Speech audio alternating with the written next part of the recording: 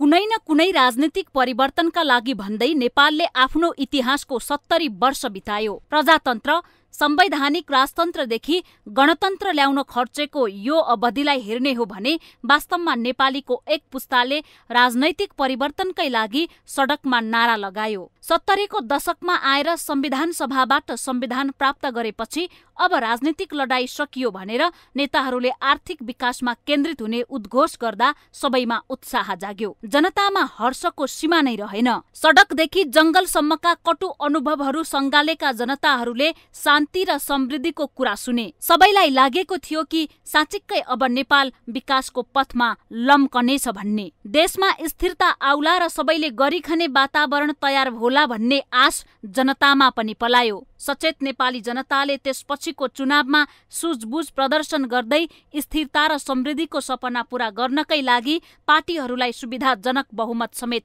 जुटाइदिए। एक प्रकारले भन्ने हो भने नेताहरूलाई नेतृत्व गर्न आवश्यक पर्ने सम्पूर्ण वातावरण जनताले बनाइदिए विडम्बना नै भन्नुपर्छ। यत्रो त्याग तपस्या र जनबलबाट स्थापित सम्पूर्ण संयन्त्रहरू नेताहरूकै कारण दुई वर्ष पनि राम्रोसँग चल्न सकेन। बनेको संविधान भित्र लुकेका विदेशी अभिष्टहरूका कारण संविधान आफैमा विवाद रहित रहन सकेन। संघीयता देशलाई बर्बाद गर्ने साधनको रूपमा देखिन थाल्यो। विवादको विषय कहिले नबनेको धार्मिक कुरा उठाएर देशले आफ्नो सनातन पहिचान गुमाउन पुगेको महसुस गर्नेहरू धेरै भए। संवैधानिक सन्तुलनको नाममा विभिन्न शक्ति केन्द्रहरूलाई क्रियाशील गराइयो। विधि र प्रक्रियाको सञ्जालले काम हुन नसक्ने व्यापक राजनैतिक तिकदमको भूमिकामा सत्तालाई नचाउने काम संविधानले नै गर्यो। संविधान जसले जस्तो अर्थ लगाए पनि हुने प्रकारको बहुअर्थी देखिन पुग्दा कार्यकारी प्रमुखले गर्ने काम भन्दा पनि प्रक्रियालाई ज्यादा महत्व दिने अभ्यासले कार्य प्रगति आशातीत हुने वातावरण नै बनेन।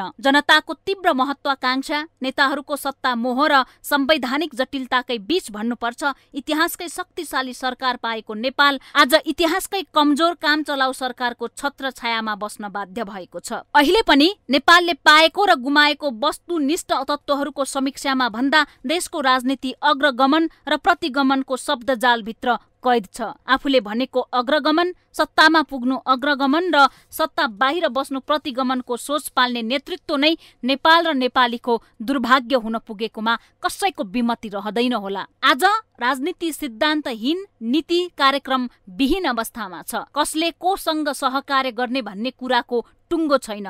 सत्तामा टिक्नका लागि वा जानका लागि प्रयोग गरिएका हत्कण्ठाहरू हेर्ने हो भने देश बहुदल व्यवस्थामा छ कि निर्दलीय व्यवस्थामा छुट्याउन सक्ने अवस्था छैन। अहिले राजनीति व्यक्ति व्यक्तिमा केन्द्रित छ। अर्को पार्टीभित्रका अराजकहरूलाई ल्याएर मन्त्री बनाउने होड चलेको सङ्घदेखि प्रदेशसम्म छरपष्ट छ। कम्युनिस्ट पार्टीहरू लाजमर्दो अराजक भिडमा रूपान्तरित भएका छन्। बहुदलको पक्षपाती नेपाली कङ्ग्रेस अर्को पार्टीका अराजक सांसदहरू टिपेर आफू प्रधानमन्त्री बन्ने धुन अलापिरहेको छ। मधेसवादी दल सधैँ सत्ताको निमित्त जुट्ने र फुट्ने कलामा निपुण भएकाले उनीहरूको कुरा गर्नै परेन। समग्रमा देश राजनैतिक र संवैधानिक जटिलतामा फस्दै जाने खतरा तीव्र रूपमा बढेको छ। नेतृत्वले एक आपसमा बसेर गम्भीर मन्थन गर्न सकेनन् भने त्यसपछि जन्मिने अराजकता सहितको गन्जा गोलले देश कहाँ पुग्ने हो भन्न कठिन छ। देशभित्र कुनै सम्भावना नभएका राष्ट्रहरू विदेशबाट कच्चा पदार्थ किनेर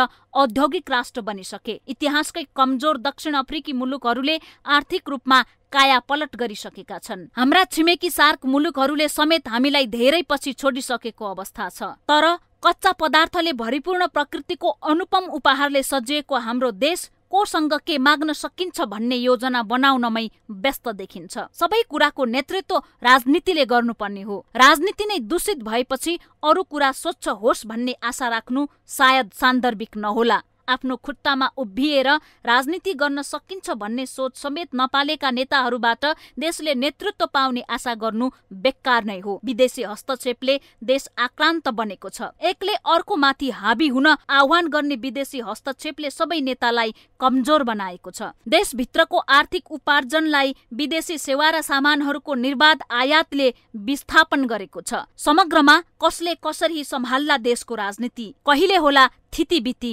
भन्न कठिन छ। धेरै नेपालीहरूले सामाजिक सञ्जालमा राख्ने विचार जस्तै कहीँ देशले जङ्ग बहादुरहरूकै खोजी त गरिरहेको छैन शोचनीय छ। माउन्टेन टेलिभिजन एसडी राजनीतिक ब्युरो।